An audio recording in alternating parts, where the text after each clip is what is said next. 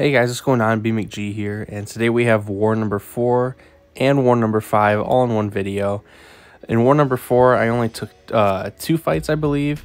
Uh, we'll see when we review the footage.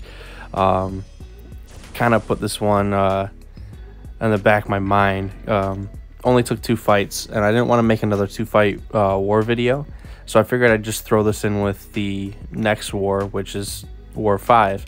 So yeah, we're gonna have two wars in this video. So we're going up path three in uh, both sections, and my attackers are Moleman, CGR, and Mr. Fantastic. Mr. Fantastic's only here for pre-fights. Um, I was going to try to see if I could do this fight against uh, Yellow Jacket with CGR, but um, Moleman's just a safer option, and you don't really have to think when using Mole Man against Yellow Jacket here. And I didn't really feel like thinking, uh, so I, I, didn't go for any duels or anything to try to figure out if CGR would work here. Um, but yeah, uh, I like Mole Man, but uh, sometimes with his Unstoppable on his block, I have a lot of issues pairing with him for some reason. Um, right there, um, I, I, don't know why I did that. The uh, take a blocked hit and then uh, use the special too. Um, but here we get some nice little intercepts and we finish the fight. So Mole Man OP or Mole God OP. um, so I took a screenshot for a potential thumbnail picture. And then uh, next up we have uh, Guillotine 2099 on node 32. Uh, so this is pretty much just a super easy Cosmic Ghost Rider fight. So I had some uh, power boosts or whatever uh, expiring. They're in the overflow, so um, opted to use them here. Uh, they're not needed, of course, but uh, they make the fight a little bit faster. Um, so yeah, uh, pretty much going into this fight doing the uh, Menache rotation, heavy to start. Um, right there. I uh, that was a mistake. I should have just uh, tried to get another parry in, but um, you know it is what it is. That heavy, I shouldn't have launched that, but um, yeah, I should have punished her uh, double medium or second medium into my block there, but you know it is what it is. But fight's pretty much over here because we get our special three, and yeah, CGR is OP.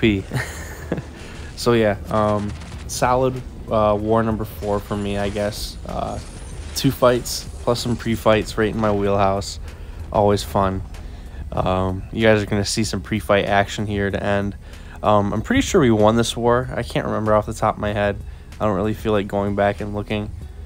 Um, I'm pretty sure we won. Um, you know, I am going to go back and look. I want to make sure I get this right. Yeah, so I just checked and we did win this war. We won by quite a lot, actually. Um, I think we had 18 uh, defender kills at one point when I looked during this war. Now it's all coming back to me now that I know that we won.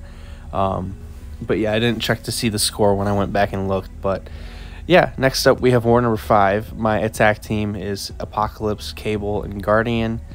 And um, I have three fights this war. We're going up Path 8 in Section 1, and the first fight is Hyperion. And uh, you guys are going to see how strong Apocalypse is with the power down tactic. He's actually pretty pretty awesome for it. So um, he has to be fully ramped at max genetic code to make this super viable. And then, uh, yeah, you guys are going to see what I'm talking about in a second. Um, so I went for the invuln boost just in case he got to a special 3. You guys will quickly, uh, quickly see that's not needed. And then I used the 12% uh, special damage booster or whatever just to get some extra damage out of my specials because uh, I'm not going to be getting to my special 2. I'm just going to be using my special ones. So I want as much damage as I could out of my special ones when I launch them. But we do a 5 hit combo here ending in a light attack. And then we just need to get another opening. We punish the uh, special one. Five hit combo with a medium, and we have withers. And now we'll just keep alternating uh, combo enders, and we'll constantly shut down Hyperion. so I thought this was a pretty awesome fight, and I really love this attack tactic when you when you can actually use it. Uh, I don't see a lot of people actually planning around it, but it's it's it's a nice to have because like the plan here for this fight originally was just tank specials with Apocalypse and use the invuln boost to do so, and yeah, that would have worked. But this just this is just so much cooler, and it works very well. The only thing that sucks is it's just a little bit of a slower fight. It's about a minute and 10 seconds, I think, at the end. Uh, so yeah, it was a fun fight, but uh, yeah, Hyperion down. So next up, we're going up Path 5, and this is after the global node is down because there was a Maw on Footloose, and we didn't want to deal with him uh, with High Ground. So uh, yeah, we just, you know, boss rushed almost, and yeah, I pretty much got to my fights when there was like 16 hours left. So I had like all day, all night, and then a little bit of the day, the next day to do my fights if I wanted to. Yeah, 15 hours and uh, 48 minutes. So, um, yeah, we pretty much rushed through this map.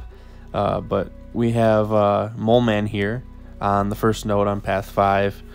Um, this is pretty much just a standard apocalypse fight. Just be careful of Sadist. Uh, the increased attack rating he gets for the debuffs I put on him. Uh, so yeah, uh, this is a very safe fight with Apocalypse. Mole Man can't shrug his uh, shrug his debuffs, so I can parry whenever I want. I can uh, heavy whenever I want. Uh, gotta be careful of the ebb and flow intercept protection.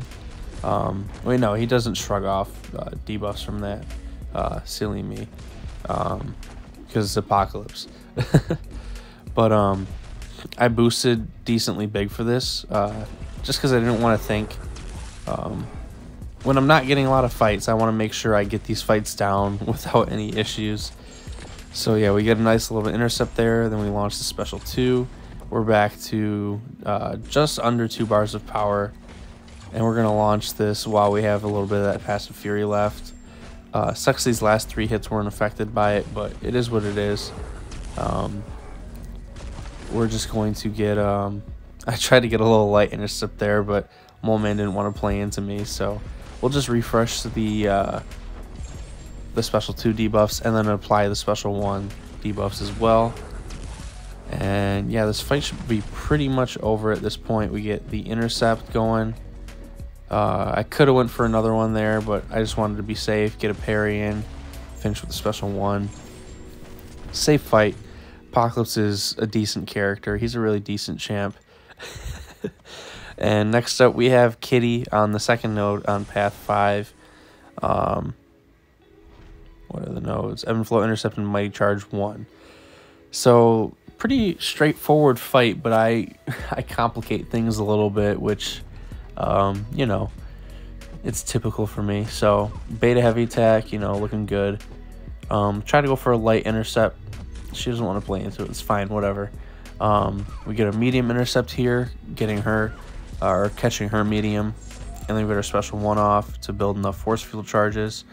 So now we can pretty much build our special two and launch that while we have the Fury passive from Ebb and Flow Intercept.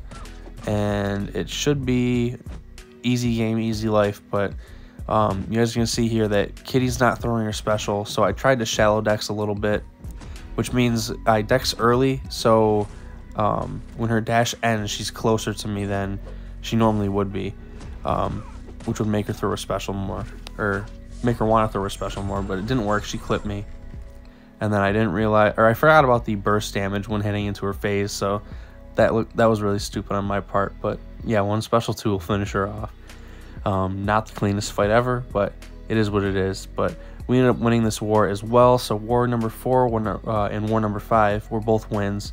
So super happy to see us pulling these out. But that's gonna do it for me, guys. If you did enjoy, consider hitting like, consider subscribing. If you already subbed, you know I love you. I'll see you guys for the next video or stream. Peace out.